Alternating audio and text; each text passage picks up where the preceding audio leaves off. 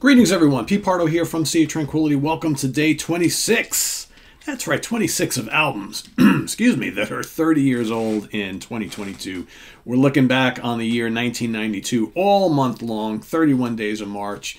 We're all picking our 31 favorites from the year 1992. Today, this particular album released uh, May 11th, in 93 here in the States, but it was in uh, available to the rest of the world September 7th, 1992. So we're going to go with the original release date. Uh, for most of the world, we were a little late to the game here in the states, as we seem to be quite a bit like in over the last like 30 years on certain things. Uh, came out on the Relativity label. It's the eighth studio album by this particular band, produced by the band and Danny Kortchmar. I'm talking about Kingdom of Desire by Toto. Whoops, got that upside down. There we go. Kind of a weird album cover, I always thought, but a tremendous album nonetheless. In my opinion, one of the best, excuse me, albums this band has ever done. Uh, and this is uh, basically the first album where Steve Lukather, guitarist, vocalist, songwriter, really kind of stepped out front as the de facto leader of the band. It's also the last album to feature uh, Jeff Porcaro, who died uh, after the record was finished and during the rehearsals for the uh, tour to support this album. Again, in most parts of the world, but not here in the States, because uh, right around this time in the early 90s, I mean, Toto all but forgotten here in North America, which is a damn shame because they were releasing a lot of really, really good albums here that just got no promotion, didn't sell, in many cases, barely released here. So on this album, uh, basically the band down to a uh, pretty much a four-piece Steve Lukather guitars, lead and backing vocals. You got David Paich on the pianos, organ, synthesizers, backing vocals. Uh, Mike Porcaro on bass and Jeff Porcaro on drums.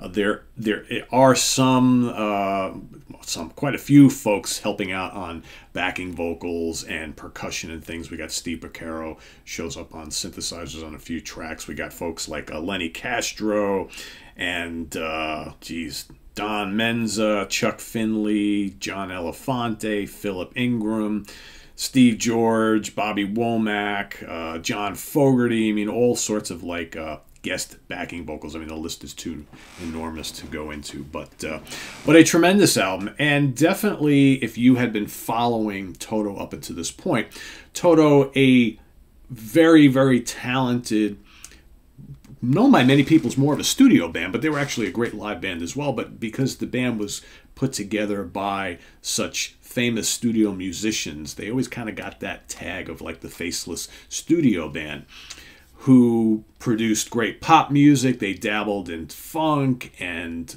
hard rock and little bits of prog, right? Well, on this album, this is a big, tremendous, hook laden, heavy rock album a good chunk of it anyway. Right from the get go, you got a song like Gypsy Train, which is just tremendous riff heavy blues rock.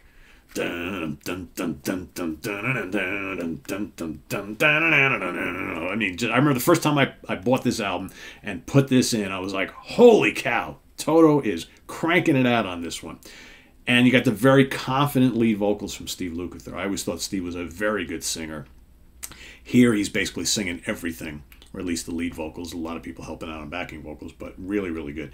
Uh, you got Don't Chain My Heart, which has a great hook, good pop hook. It's still a pretty rocking song, but definitely commercial, little bluesy edge on there as well. You got Never Enough, another crazy hard rock tune. You got How Many Times, more of a ballad, more of a pop song, definitely very, very memorable.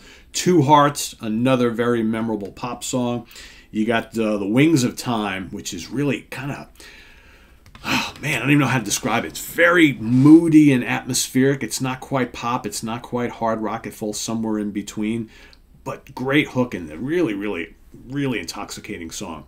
Then you got this kick ass, funky, bluesy rocker called She Knows the Devil, which has some tremendous Steve Lukather guitar licks all throughout that song. Love that. Then you got the other side, soaring melodic pop song, Only You, more of a ballad, really good. Kick Down the Walls, great, great hard rock song. The title track, Kingdom of Desire, is big and epic and kind of Zeppelin Really, really good, moody hard rock song. Love the title track.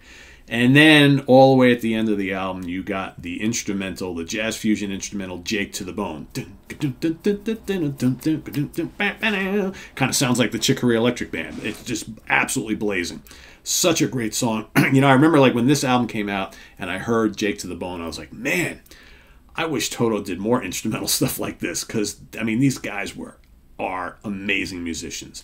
And I think if they wanted to, they could have been a total instrumental band and just done stuff like that. You know, the masses wouldn't buy it, obviously, but cats like me would be like, that's what we want, right? But I love this album. It's a great mix of just kind of a melodic pop stuff, searing hard rock, blues rock, and a little touch of jazz fusion. Uh, and Lukather's guitar work is absolutely stellar throughout. Um, there's a reason why this is one of my favorite Toto albums and has been since the day it came out. It's just spectacular. Kingdom of Desire from Toto is my pick today, day 26, as we are marching through the month of uh, marching through March. We're almost done. We got less than a week to go, so uh, let us know what you think of Kingdom of Desire as well as your pick for day 26 down in the comments below, and visit us on the web at www.seaoftranquility.org. We're on Facebook, we're on Twitter, of course, we're here on YouTube all the damn time time. Uh, got, like I said, the, the, this last week are my absolute, absolute favorites. Got some real good stuff coming up, so stay tuned each and every day throughout the month before we switch gears into something totally different for April. So uh, I am Pete Pardo. Thanks for watching. Please visit us on the web. You know all those places. Uh, also, go down below. We've got the link to our Ko-Fi page if you'd care to make a channel donation. All of your donations are greatly appreciated to help us continue to buy more music to talk about, more movies to watch and talk about, and all that good stuff. Uh, it all goes into additional content for the channel. We also have the link to our merch page below where you can get all sorts of cool Sea Tranquility shirts and uh, hoodies and hats and caps and all sorts of cool things. So uh, that also helps spread the word of the channel. When you, I love hearing stories. I mean, there's great stories. Just a couple weeks ago, one of our viewers was out at the supermarket one day wearing his Sea of Tranquility shirt, and he sees he's on the checkout line. He sees some guy waving to him three aisles down that he's never seen before in his life. The guy's like trying to get his attention, and then when he finally gets his attention, he points and he's got a Sea of Tranquility shirt.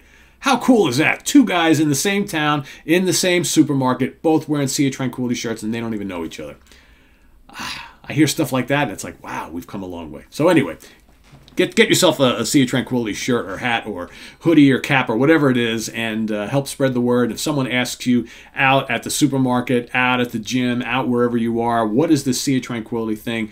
Tell them and hopefully turn someone new onto all the great stuff we're doing here. So uh, thanks for watching. I am Pete Pardo. We'll see you tomorrow morning with another album that is 30 years old in 2022. Till then, take care. Bye bye.